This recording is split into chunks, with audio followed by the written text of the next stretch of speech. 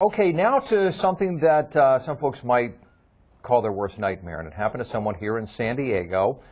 A snake came up through a toilet in an historic building downtown. NBC 7's Vanessa Herrera is here to tell us, uh, Vanessa, how this is even possible, because a lot of times this is like an urban myth, right? Yeah, I thought it was an urban myth too, and that snake is no joke. It's five feet long, six inches round.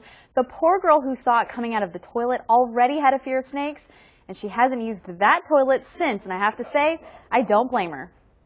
It's many people's worst fear, a snake coming up through a toilet. Some even say it's an urban legend. But Stephanie Loxa, co-owner of Vertical PR and Marketing, saw firsthand that it can happen. I just came in, noticed that the water levels were higher than normal, so I used the plunger to, you know, unclog the toilet. But what she thought was waste clogging the toilet started to move. Once I realized that it was moving and coming higher and higher, that's when I was like, okay, this this is not debris, this is definitely a snake, and this is a very, very large snake. Loxa says as soon as she saw the snake's tongue slithering in and out, she freaked out. Once I realized that that was a snake, I uh, flew out of the bathroom, shutting the door behind me. I called. She called her business partner, but she didn't believe her. When a county animal services officer showed up, Loxa couldn't believe what came out of the bathroom. A five foot long, six inch round Colombian rainbow boa constrictor.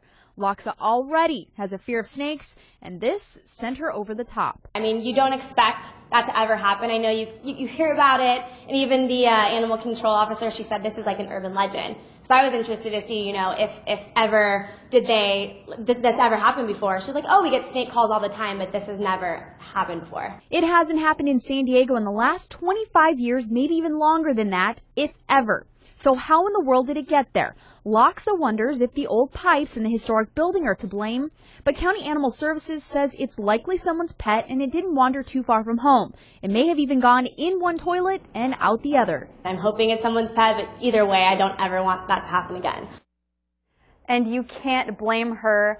Uh, the snake will be held until the owner comes forward, but if no one does, then it will be handed over to a snake rescue. Vanessa Herrera, NBC 7.